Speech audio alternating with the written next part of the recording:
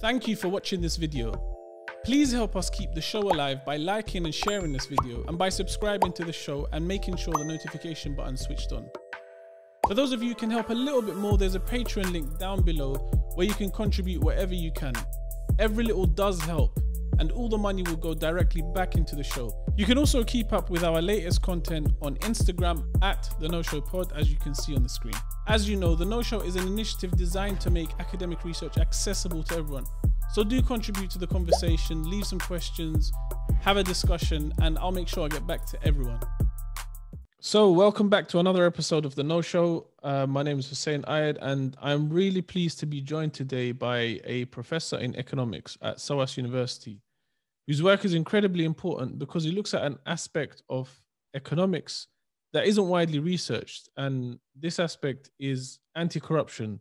Um, so, thank you so much for joining me, uh, Professor Mushtaq, um, and I'm really pleased that you are joining us. Um, so, th- thank you so much for being here. Um, could you give us a little bit of a background about um, how you came to sort of researching anti-corruption and and what were the the motivators behind that? Well it might sound a bit sad but i've been interested in corruption and anti-corruption all of my academic life. I began my phd was on comparing um, pakistan which included bangladesh in the 1960s with south korea in the 1960s and looking at the different development trajectories of these two countries um, both of them were superficially quite similar. They had military governments, they had um, high levels of corruption, they had very state driven um, development programs. They were trying to develop a small number of global champion firms in export sectors. Both countries had started off with high rates of growth. In fact, Pakistan's development model was the model on which the South Koreans based their development model. Mm-hmm. But the Pakistan growth model collapsed and the South Korean one continued, and, and we know where they have reached now. And so my question was, why did corruption have such different effects in these different countries?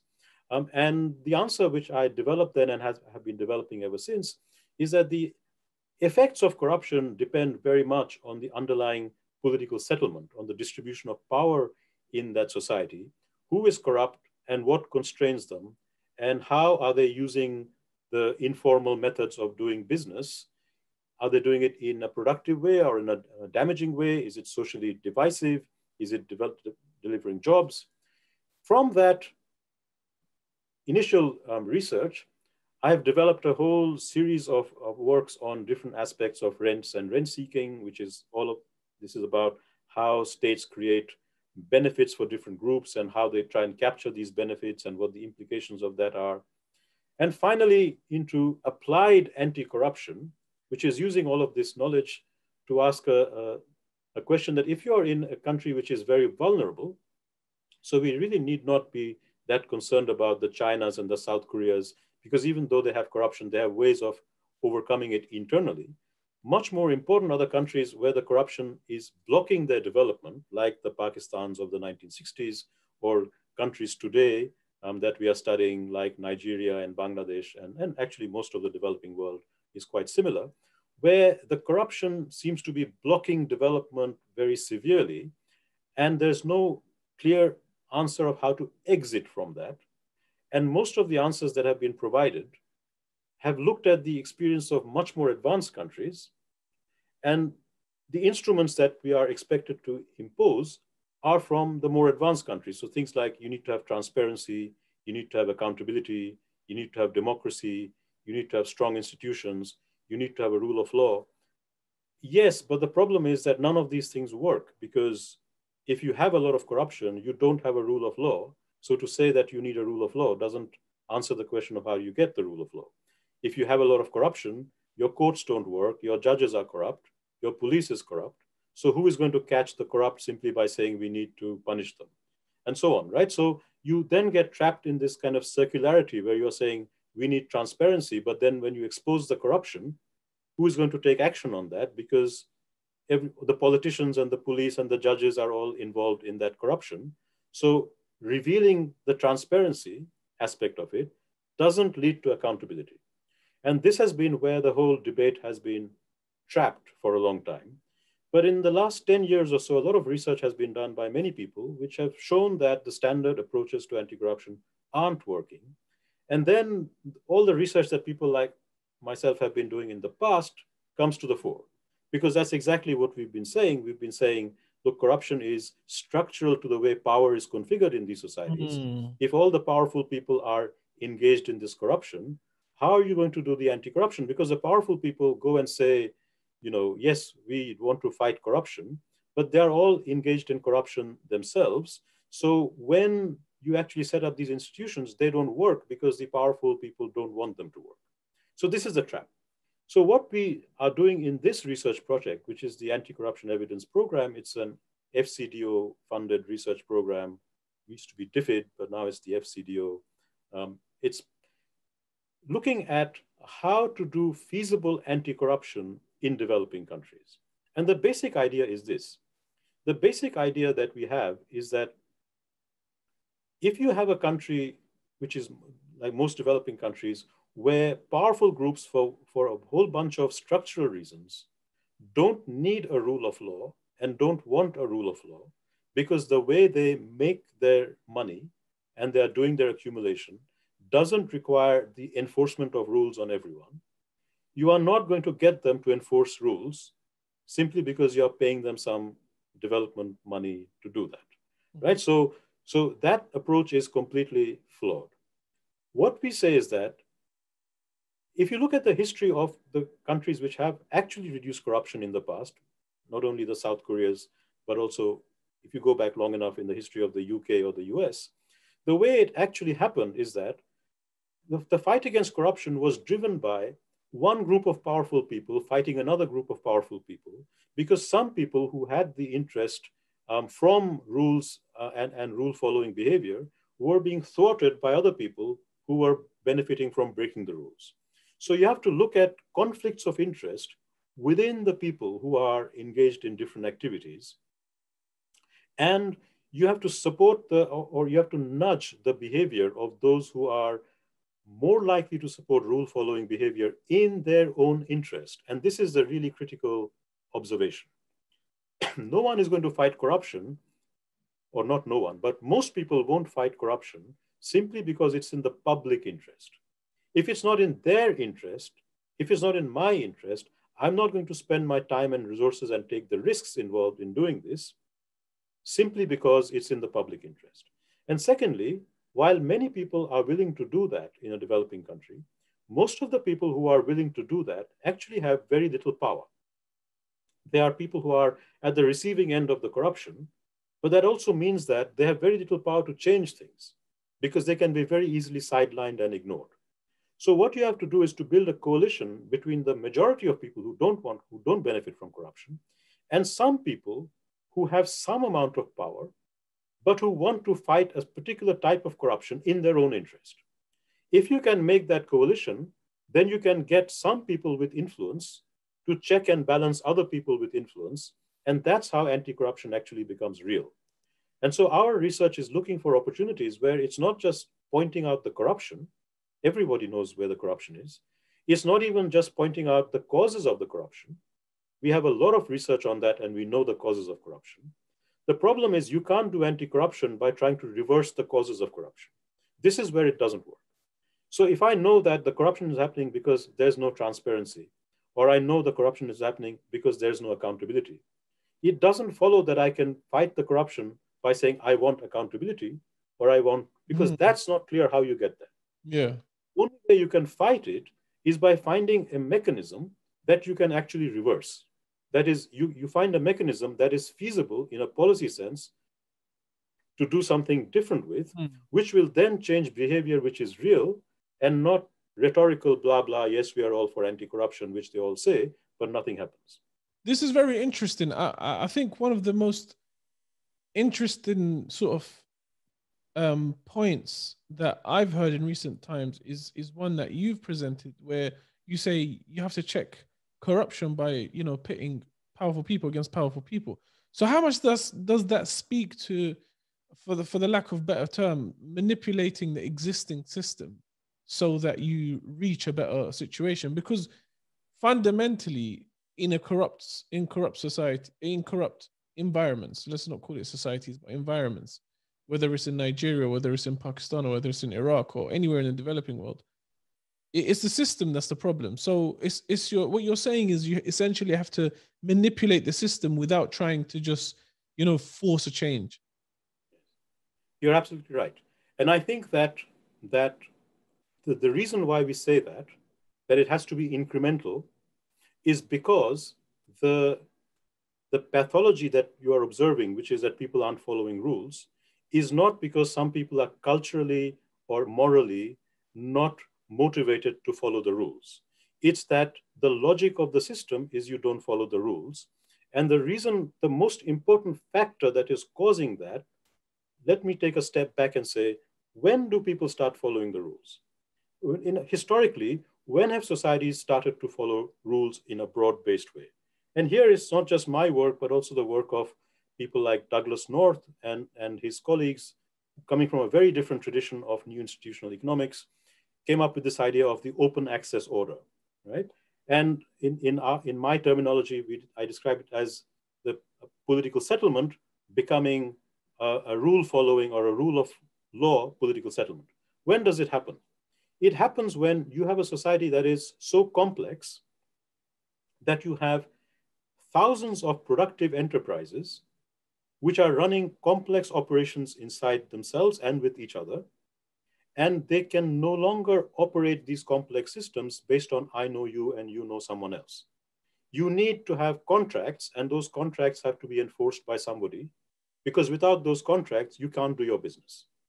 As soon as your society becomes complex to that point, where you need to have third party enforcement, as it's called in, in institutional economics jargon, you need to have rules which somebody else can enforce, or you can't make money or you can't do business the powerful then want rules in their own interest. They want rules not because they like rules, but because they can't survive without them. Mm-hmm.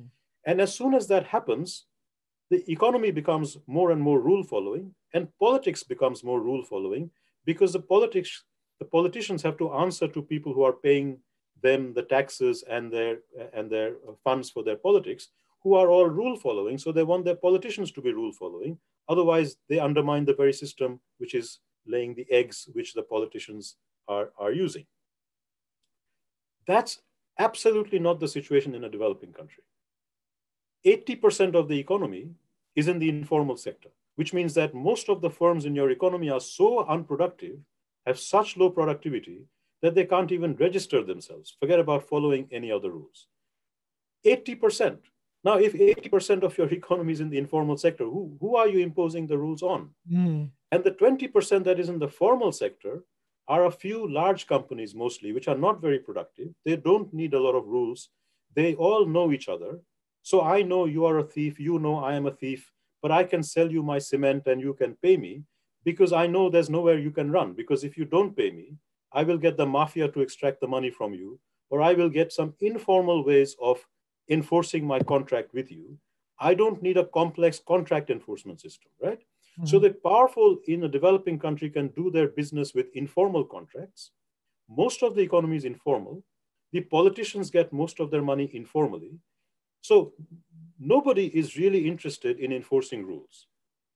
So it's so, so the reason why you have to go incrementally is because we have a bigger theory of change underlying all this, which is that what we are trying to do is to use these nudges to make society more productive, to have more productive organizations and the more productive organizations you have, which need complex rules, not only are you going to have those subsectors interested in rules, you're going to get a society which is increasingly going to say, we need rules. And at, at some critical turning point, you move from a society which is doing lots of ad hoc anti-corruption to one is, which is going to do systemic anti-corruption. And that's the transition that South Korea made sometime in the 2000s and late 1990s, from a society which was extremely corrupt in the 1960s to one where the growing chaebol, the, the, the big players like Hyundai and Samsung and so on, built up systems of rule following behavior to one where actually they were saying the whole system now needs to be rule following. right? So there is a sequence, and you can see that same thing happening in China. Gradually, it's trying, the pressure for more rule following behavior is increasing. Unfortunately, in most developing countries, even the pockets of rule following behavior aren't developing. And what we are saying is that you need to build those pockets of rule following behavior where the players themselves will start following rules in their own interest as a way of raising productivity.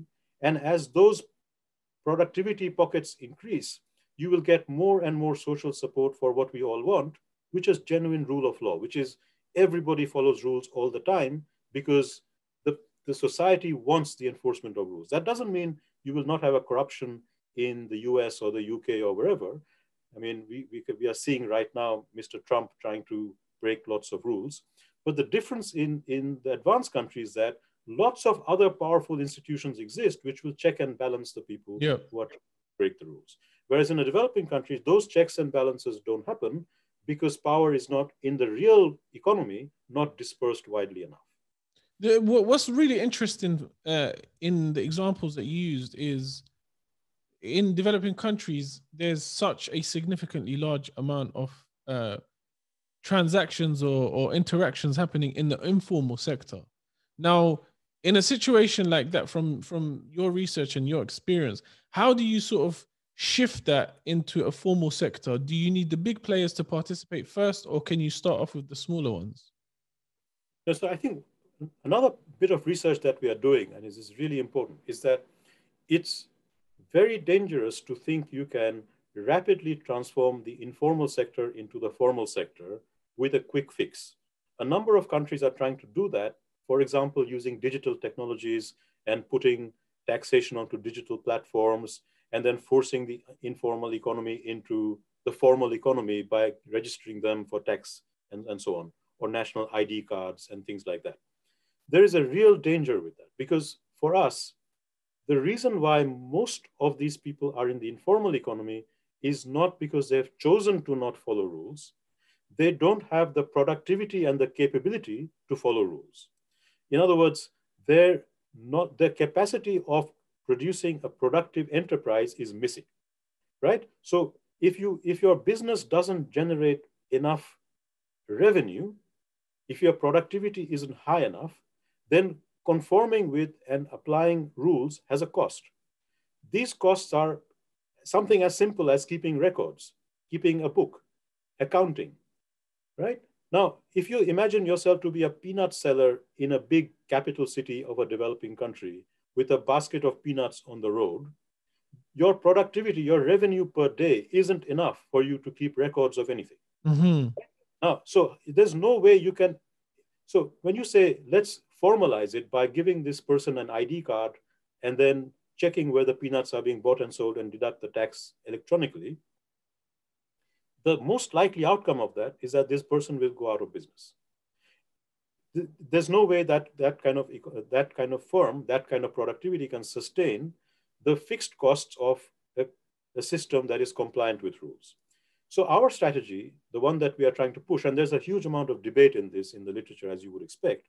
Some people think that you can solve this problem by forcing formalization on the informal sector. We are very strongly against that. We think that the, the way you need to do this is by parallel strategies. You must have very um, strong strategy of raising the productivity and capabilities of the productive sectors. This includes the informal economy. So I would begin by helping the peanut seller or the peanut processor or the peanut farmer in, the, in that chain, each of them to raise their productivity, to become more capable. And that means investment not only in machines and skills, but also in organizational capabilities, which is a really mm-hmm. binding constraint in developing countries, knowing how to do business. That knowledge, once you start raising their capability, you will then come to a point where some of these people will voluntarily decide to register themselves because registration has benefits. You can go and raise money from a bank more easily. You can transact with other people. You can write contracts, but it has to be driven by the interest of that person yeah. being met. If you don't have that capability and you force the enforcement of formalization, you can do a lot of damage. And, and the sad thing is, a lot of countries misunderstanding the transition of how it happens, are forcing formalization. It's a process. We have written some recent papers where we describe this as premature formalization. And premature formalization is what you see in countries like Tanzania and India and others, where tax systems and, and registration systems are being forced down the throats of people who are not yet ready to pay the costs of that compliance. And many of them are going out of business. A lot of SMEs are closing down. That's the wrong approach. But in the long run, of course, society needs to be formalized. And the, but the transition path to that is through raising capabilities and through making businesses more competitive. And then by themselves, they will want registration and formalization. It, it makes a lot of sense. Um, and, and it sort of speaks to the fact that um, who governments think about first, because or, or what governments think about first, because from what I'm understanding from you, is it's it's a very bottom up approach to solving the issue as opposed to the top down approach where we're saying we need to think about the tax dollars first or the tax income first before we think about the product. And you're saying actually no the productivity is what comes first. And actually the irony is that they will not actually collect more tax because by killing a lot of businesses um, and creating a lot of hardship they will have to use a lot of the tax money that they have in welfare programs and in and preventing serious hardship at the bottom of society. So it's a it's an it's not a good strategy, and I think that we will hear more about the implications of some of these strategies that are being tried out soon. Uh, I mean, one of the things that I, I think stands out um, in, in your work is the emphasis on incentive and incentivizing the individual. And and obviously you've done work on anti-corruption, but you've also done work on on the incentives within sort of um, climate management or climate change projects. And how the incentive to sort of oversee these projects and, and the management of these projects has to be within the communities and it's not just some you know metric. I think this is something that people often forget that if you look at an advanced country most of the monitoring and checking is happening by peers citizens looking at each other. So what happens in, in the UK is when a shopkeeper suspects that the neighboring shopkeeper is not paying their VAT or is running a scam, it's they who will who will be most angry and, and report it, right? And the reason why this happens is because for a broad range of things, and this includes why people stand in queues. If you break a queue, it's not the police who comes and stops you it's the person behind you and the person in front of you who drags you back and says, please stay, stay in the queue. Most of the rule following behavior that we are used to in advanced countries is happening because our peers are enforcing rules on each other, right? Now, the problem in the developing countries, because of these asymmetries of power, because of the fact that the economy is largely informal, because the fact that most people are hiding something and breaking some rule, when you see somebody breaking a rule, you don't drag him back in the queue right? Because the problem in a developing country is that everybody has something to hide. So if the peanut seller goes to the president and say, you are hiding something, Mr. President, the president tells the peanut seller, you're not registered to sell peanuts, so I'll shut you up. Mm. So, so everybody is breaking some rules, and therefore this peer group monitoring doesn't happen. Mm-hmm. And what we are saying is you start that process, you start that process by selecting and identifying sectors where there is an opportunity of peer group monitoring, because that's the most effective way of anti-corruption or any kind of rule following behavior, is when the, your peers are following rules and they say, you're the free rider, that's when the free riding stops. So, and, and what we find is that there are a huge number of such opportunities. In the climate change projects, we found that those climate change projects where the community gets involved because of their self-interest and they want to see the project well completed, you have a staggering drop in corruption. And those where the immediate uses of those um, projects is not aligned with what the community wants. The community is not interested. Powerful people then can rip off the money and steal the, the resources in these projects. And no one calls them to account because it's not in anybody's interest and everyone has something to hide. So, so that's a, a, principle which I think is underexploited when we start thinking of anti-corruption in these developing country contexts. We have to ask ourselves, where are the places where with a small change in the design of the policy, with a small change in the incentives, we can actually start getting the people who are powerful to start checking each other. And by the powerful, you see, Hussein, I mean, it's important to understand by the powerful, power is a relative concept. You know, when we are talking about remote villages in Bangladesh, a powerful person is someone who has 0.5 hectare of land. You know, that's a powerful. In the global context, this is a very poor person, right? So it's not about rich and poor. But in that community, that person has cap capability. That person is the one that the local politician listens to. So, so you need to mobilize the person who has a voice in that community. That's what we mean by power. We don't mean by power the president and the no, it's heads of corporations. It's relative. So it's, it's asking who has voice in this activity? How do we get the people with voice to get involved? And then get them in the, make sure that their involvement is aligned with their interests. Because the best way to ensure that people are going to do the right thing is when doing the right thing is also in my interest. If you ask someone to do the right thing by harming themselves, you might get some really good moral people once in a while doing that. Most of the time, it won't work. And most morality is, is protected best when being moral is also aligned with our long-term interests. And I think that alignment of morality with the long-term, you know, the self in, um, what is the word for it? The um, informed self-interest is the best guarantee of moral behavior. That is, if I build this properly, it is not only in my interest, it's in the community's interest, it's also the right thing to do, is what it, that package then becomes a very strong package.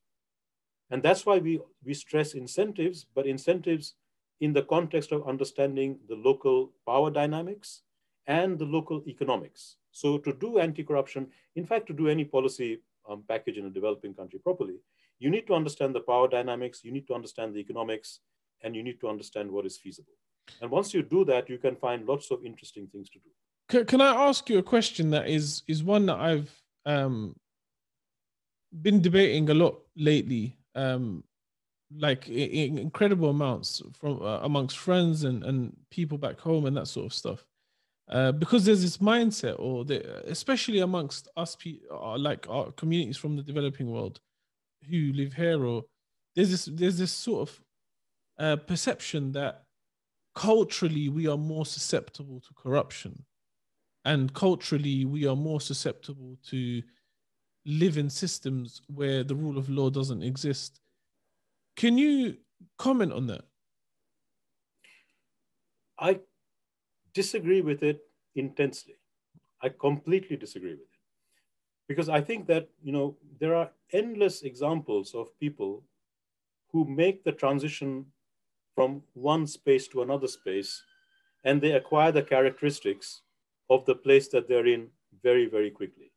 So we all know that, you know, when people come from developing countries to advanced countries, most of them become rule following very quickly, right? So there's nothing cultural about it. But let me give you a very interesting example of a transition in the opposite direction, right?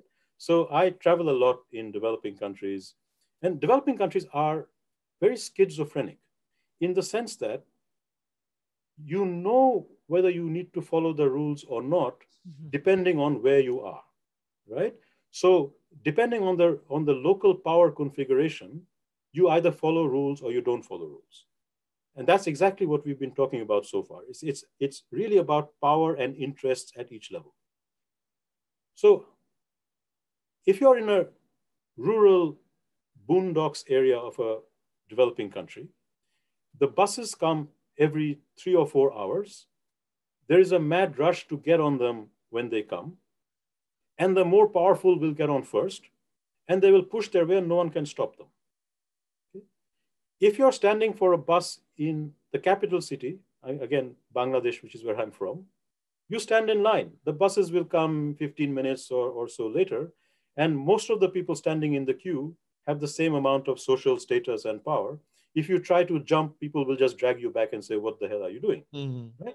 So you automatically know here I follow the rules and there I don't follow the rules. If you're in a rural area and you are waiting in line for a bus, you'll never get in. So you will have to rush and you'll negotiate with everybody else who gets it.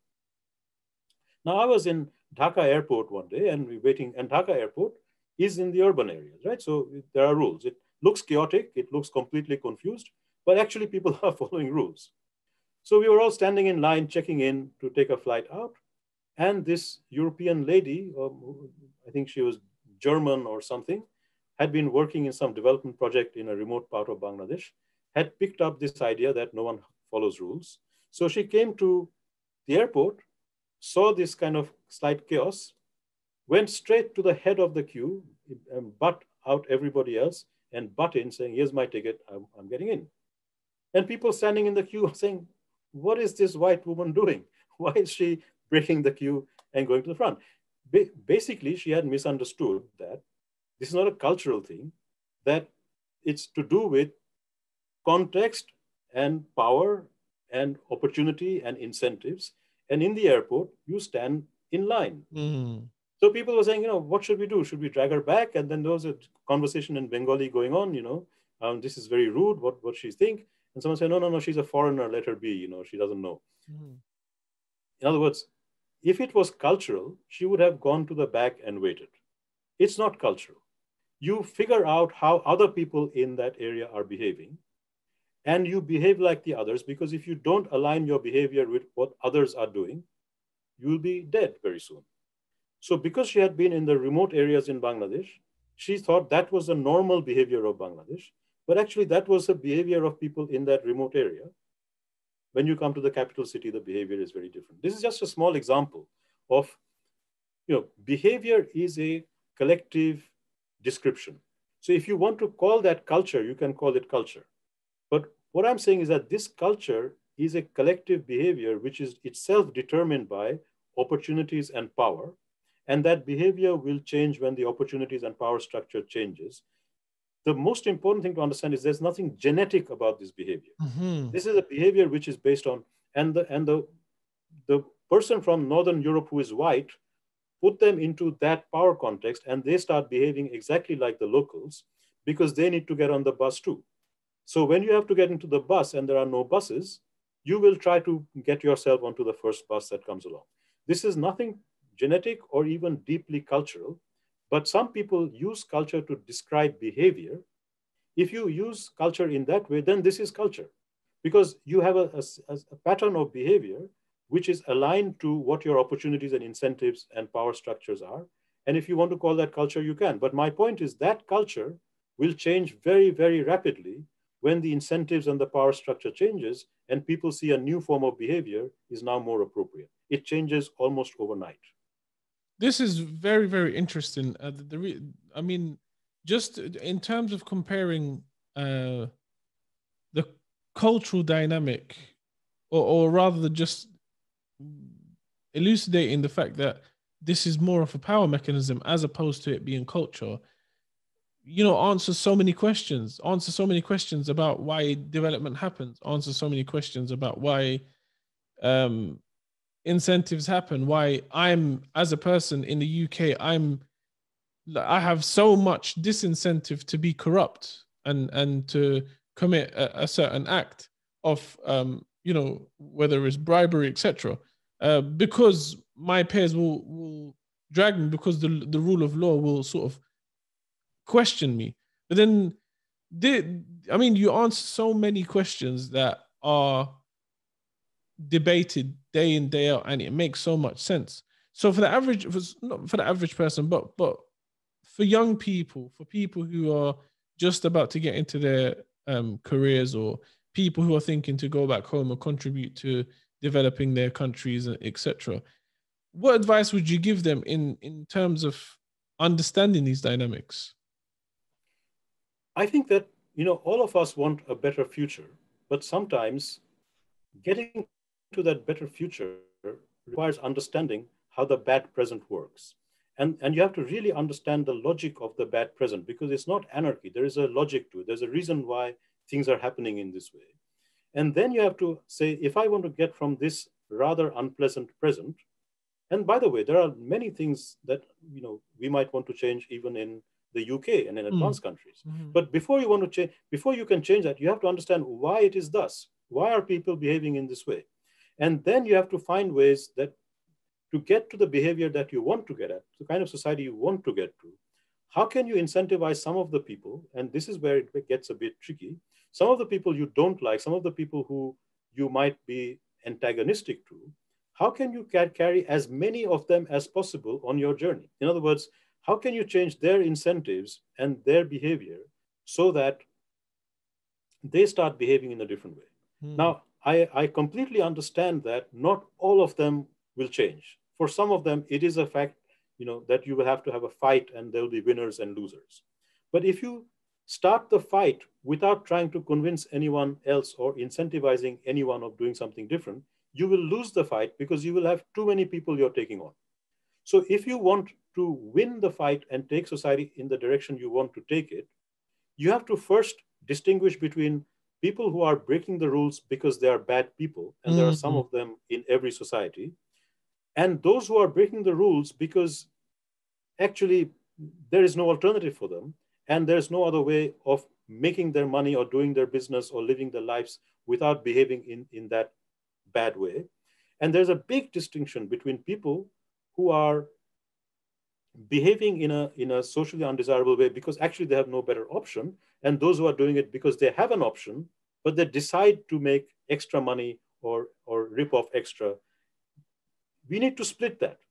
And if you can split that, and all our research on anti-corruption is doing precisely that. We're looking at those skills providers who are doing fraud because they have to, and splitting them off from those who are doing it because they're bad.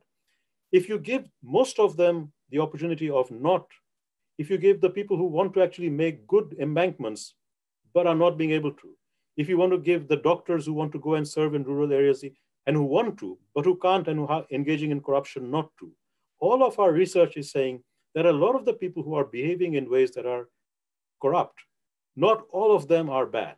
Mm. And you need to find ways of splitting them, of giving the opportunity of those who actually want to live a normal life and not do all this hassle of corruption and so on.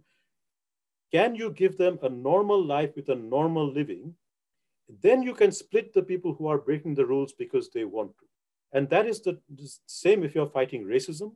It's the same if you're fighting any ism that you don't like, you will find a lot of people are doing that because it's just the easy thing to do.